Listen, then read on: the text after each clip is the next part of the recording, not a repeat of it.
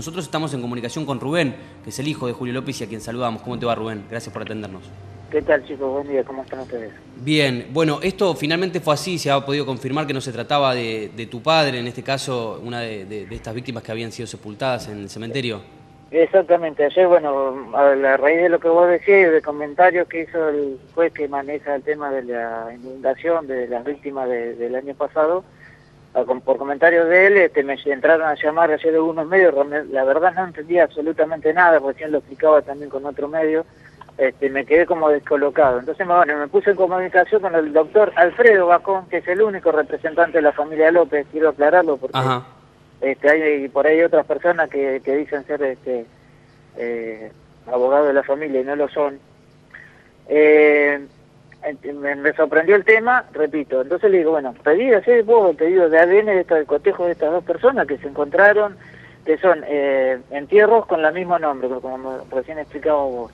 Eh, por características físicas ya fueron descartados, no, no entremos en detalle, la verdad que son bastante escabrosos y no, no, no son agradables, pero por esos detalles ya fueron descartados. Estos dichos son comentarios del fiscal Pedro Molina, dichos al doctor Alfredo Bacón, que es el abogado de la familia. El doctor Molina es el fiscal que lleva adelante la causa y es el jefe de la Fiscalía de Lesa Humanidad que se dedica a investigar todas estos, estas, estos situaciones. Bien, Rubén. Eh, repito, por el dicho de él, esto, eh, por cuestiones investigativas, o sea, cuestiones físicas ya fueron descartados. Aclaro que no sé, más allá de eso, si el pedido que yo le levé al doctor Gascón de que se haga un cotejo, más allá de todo eso, de ADN corresponde hacerlo o no. Ahí ya no, no, sé cómo quedó la situación.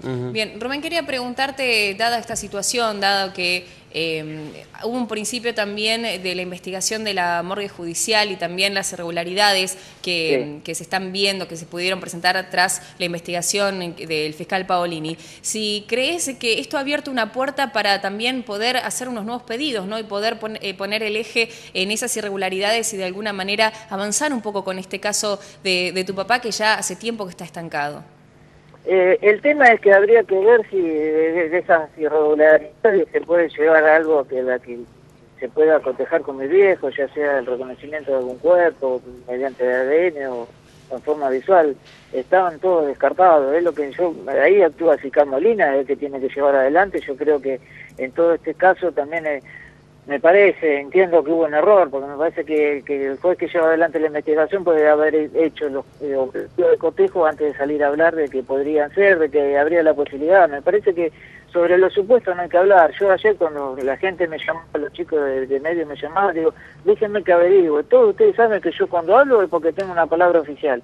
En este caso, representado en Marcelo Monila, que habló con el abogado que nos, que nos lleva adelante la causa.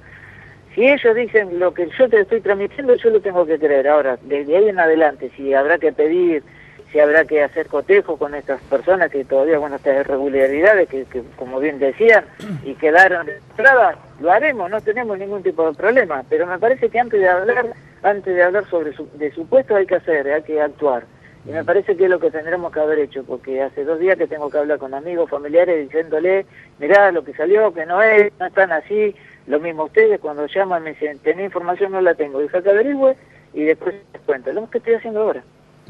Em, Rubén, no se ha hecho un análisis de ADN, ¿verdad? Eh, se ha cotejado mediante otras pericias, pero no de ADN.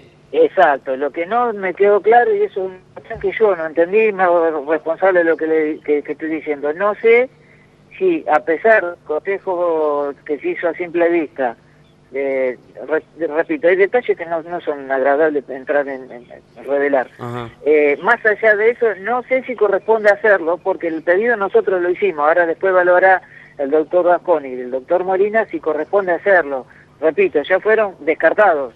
Eh, no sé si vale realmente la pena hacerlo. Bien. Eso es parte de la que yo no entendí.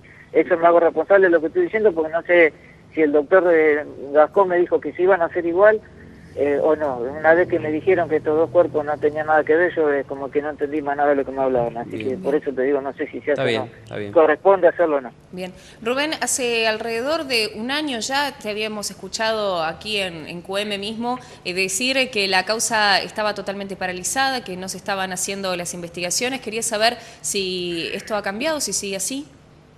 Mirá, eh, yo siempre digo lo mismo y, quiero y, pienso de que no se encuentra nada porque no, hay indicios, no porque no se quiera hacer. Eh, recién repito, eh, fíjate que estamos hablando por una casualidad del caso de mi viejo porque se encontraron estos dos cuerpos a base de una investigación que no tiene nada que ver con la investigación de mi viejo. Digamos, si llevaron por delante dos cuerpos que podrían ser, que qué sé yo, que quedaron descartados no porque estaban investigando la búsqueda de mi viejo. Estamos en esa situación, yo creo que si algún día sabemos algo es porque se lo llevan por delante.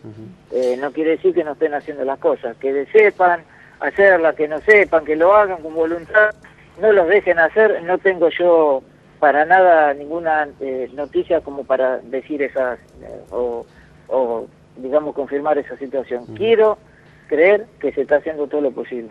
Bien, bien. Bueno, Rubén, gracias eh, por, eh, por, esta comunicación, por aclarar el tema y ha quedado este, realmente entonces mm, confirmado que, no se trataba de tu padre. Te mandamos un abrazo. Un abrazo y gracias por llamar y esperar que, yo pudiera confirmar esto. Muy bien. Ahí estaba eh, Rubén López, el hijo de Julio López, quien continúa desaparecido y quien, bueno, a partir de ahora estamos descartando que se trate de este, una persona que se había sepultado en el cementerio de La Plata con identidad falsa luego de la inundación.